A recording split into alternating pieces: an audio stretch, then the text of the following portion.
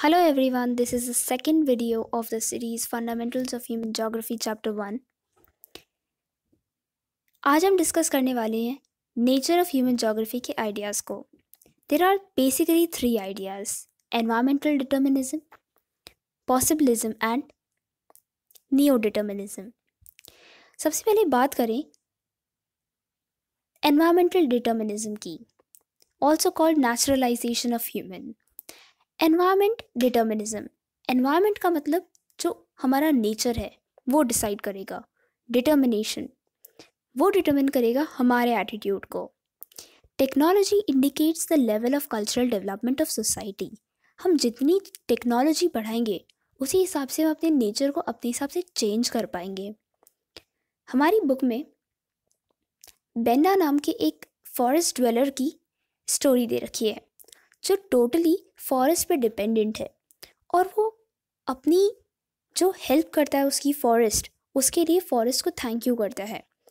वो स्पिरिट्स की पूजा करते हैं सो so दैट वो, क्योंकि वो लोग उन्हें अलाउ कर रहे हैं to quench is thirst to help him in every which way so this is because उनके पास इतनी टेक्नोलॉजी नहीं है कि वो अपने इन्वायरमेंट को अपने हिसाब से चेंज कर सकें। तो human beings when developed technology. They had better understanding of natural laws. That's why they were able to develop technology. और जब उन्हें समझ में आ गया कि ये चीज़ें इस तरह से मूव करती हैं, इस तरह से चेंज होती है, तब वो अपने नेचर से डरना बंद कर दिया उन लोगों ने।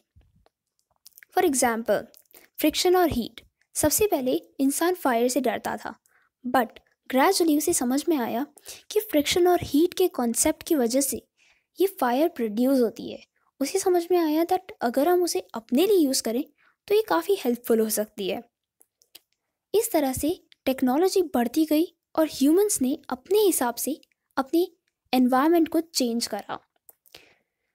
तो सबसे पहले हमने जिसकी बात की एनवायरनमेंट डिटर्मिनिज्म की, वो है the interaction between primitive human societies and strong forces of nature इसी को एनवायरमेंट डिटर्मिनिज्म या फिर नेचुरलाइजेशन ऑफ़ ह्यूमन बोलते हैं। सेकेंड टॉपिक आता है possibilism humanisation of nature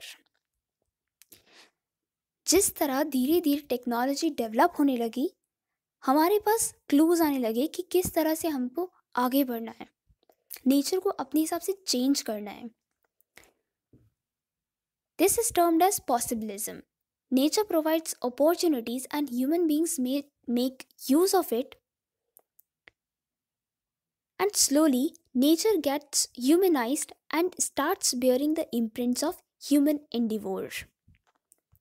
Basically इसमें ये डिस्क्राइब करते हैं ये लोग कि पहले जो पीपल थे जो मदर नेचर के नाम से डरते थे अब उसी मदर नेचर को अपनी सहूलियत के लिए यूज़ करना शुरू कर दिया इन लोगों ने राइट धीरे धीरे टेक्निक्स और टेक्नोलॉजी बढ़ गई और उसकी वजह से हमने अपनी एनवायरनमेंट को चेंज करा। हमारे पास इसमें एग्ज़ाम्पल है एक लेडी का that is Kari who lives in Trondheim this is a place in Scandinavian countries okay ये fifty eight years old lady है बट आज भी बहुत फिट और यंग लगती है। जस्ट बिकॉज़ उसने अपने हिसाब से अपनी इन्वायरमेंट को चेंज करा, उसने अपने आसपास की जो फोर्सेस हैं स्ट्रॉन्ग फोर्सेस ऑफ़ नेचर उन्हें इतना स्ट्रॉन्ग नहीं रहने दिया।